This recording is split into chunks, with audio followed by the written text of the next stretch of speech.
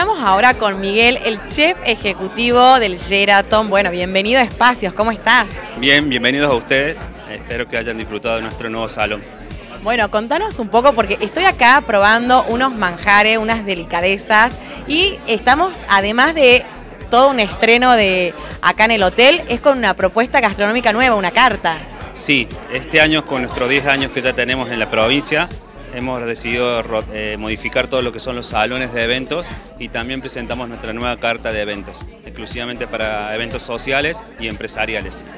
Y bueno, está a cargo, por supuesto, eh, tuya la, la, carta, esta propuesta gastronómica nueva.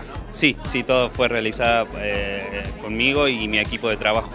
¿Y qué nos puedes contar de esta nueva este, propuesta, de esta nueva idea? ¿Cómo surge?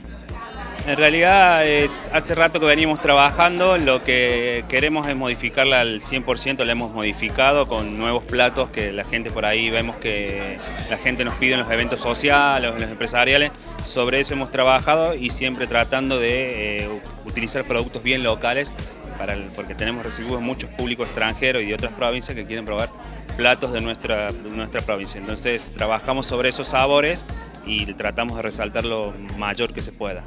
¿Y hay algún condimento o algo característico eh, de parte tuya como, como chef y que lo implementes en todos los platos? No, siempre lo que tratamos de hacer es que el, principal sea algún producto local, como la miel de caña, el cayote, utilizamos eh, mucha fruta, las carnes que son muy buenas.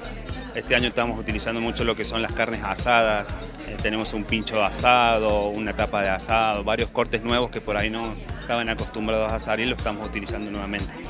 Y contanos un poco, porque lo, mejor de toda esta propuesta que tiene ahora el Geraton es que si yo quiero puedo venir, suponte, acá a festejar el cumpleaños con mis amigas y quiero hacer un té. ¿Qué me recomendás o qué me dirías que me pondrías para un banquete acá con mis amigas?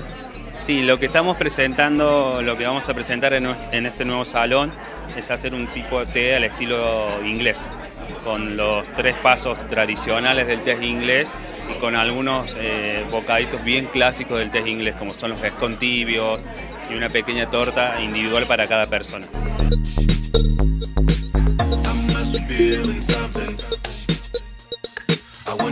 Bueno, le estamos contando un poquito a la audiencia que eh, son los 10 años del Geraton y que están abriendo acá este nuevo espacio, el Salón Ampimpa, y estamos debutando con tus obras, acá de tu galería, de Galería Fausto. Contanos un poco cuando traes obras para exponer, eh, eh, las elegís, el por qué pensás que, que van acá. No, es una... Bueno, son muchas cosas que se reúnen en un momento, ¿viste?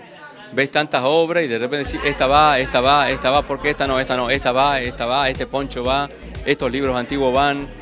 Eh, no, es un, poco de instinto, el momento, el lugar, los colores, el ambiente, las ganas, las sensaciones, un poco de todo eso.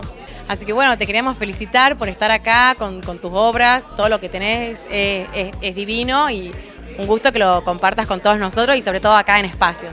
Gracias, Luján, muy amable. Y bueno, lo espero por la galería Muñeca 713.